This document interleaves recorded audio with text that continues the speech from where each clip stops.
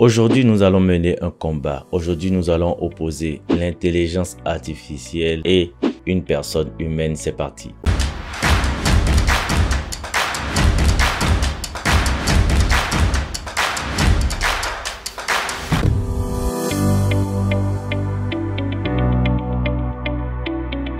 Hello guys, j'espère que tu vas bien. Moi, je vais super bien. Bienvenue sur Fools Media, la chaîne qui te parle de photos et de vidéos à travers les astuces, les conseils et les tutoriels. Alors, si c'est pour la première fois que tu découvres la chaîne, je t'invite à t'abonner car je vais faire des vidéos assez fréquentes sur l'intelligence artificielle. Je m'appelle Hakim, formateur en audiovisuel et aujourd'hui, nous allons parler d'une IA particulière qui vraiment se concentre sur la retouche de peau. Dans la dernière vidéo, je t'ai parlé euh, de la nouvelle intelligence artificielle euh, que nous offre la version bêta de Photoshop, mais celle-ci cependant est une compagnie qui offre plusieurs services en termes de retouche de peau. Alors, je vais te montrer sur mon ordinateur comment cela fonctionne. Mais avant tout, j'aimerais t'informer que j'ai une formation d'une heure gratuite où je t'enseigne la retouche de peau. Donc, n'hésite pas à voir dans la description si tu veux en savoir un peu plus. Allez, je te montre.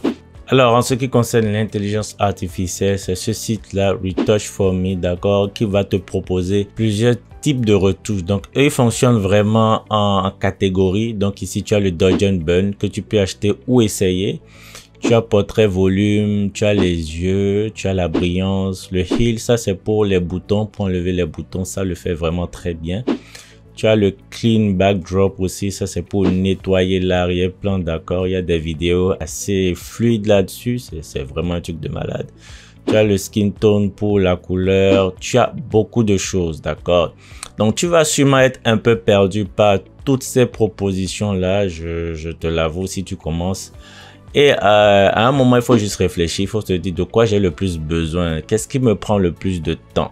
Ok, là tu vas te rendre compte que évidemment c'est le Dodge and Burn parce que tu sais que 90% de ta retouche euh, sera due au Dodge and Burn et le Dodge and Burn lorsqu'on l'applique vraiment pour la retouche de peau, euh, ça prend énormément du temps parce que la plupart du temps on l'utilise pour créer le volume mais il faut savoir que le Dodge and Burn aussi est utilisé pour retoucher la peau, pour nettoyer la peau. Donc dans cette phase là de retouche avec le Dodge and Burn, c'est la partie vraiment la plus fastidieuse et qui prend assez de temps. Donc voilà pourquoi moi personnellement j'ai acheté juste euh, voilà le Dodge Burn et le reste je le fais moi-même. Si tu t'attends à ce que je parle de la séparation de fréquence alors je suis vraiment désolé je vais te décevoir parce que moi je pense pas que la séparation de fréquence est une très bonne technique de retouche de peau. J'ai déjà fait une vidéo sur ça et euh, je le conseille cependant sur certains cas donc je t'invite aussi à voir la vidéo si tu veux en savoir plus sur la séparation de fréquences. Et j'ai aussi une très bonne nouvelle pour toi.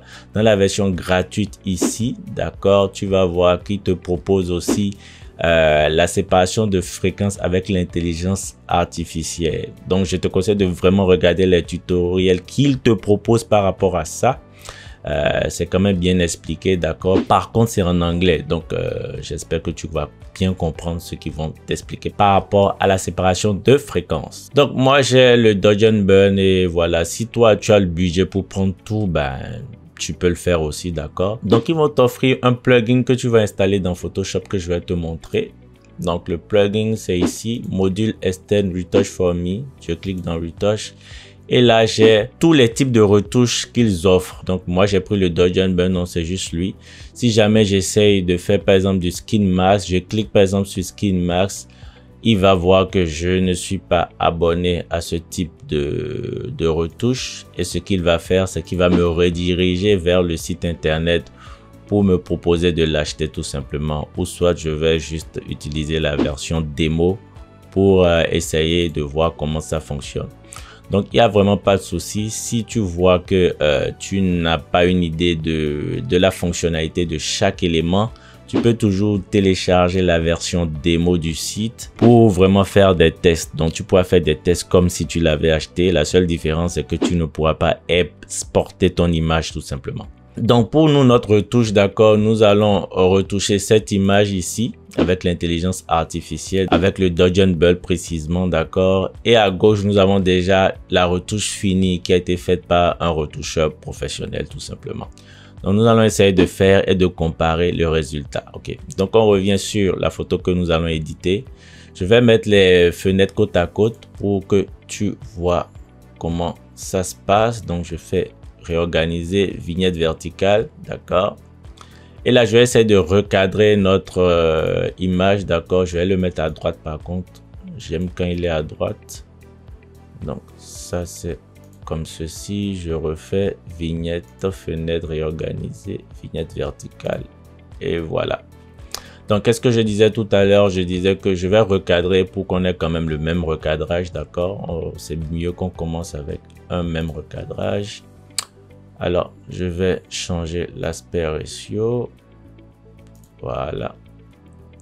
Ensuite, je vais monter peut-être jusqu'ici. Exactement. Et en bas, je vais descendre juste là, tout simplement. Je pense que c'est bon. Je fais OK. Voilà. Maintenant, oh, je pense que au niveau aussi de la tête, je dois descendre un peu. Si je vais un peu plus précis. Voilà. C'est juste des détails, mais bon. Ensuite, nous allons commencer.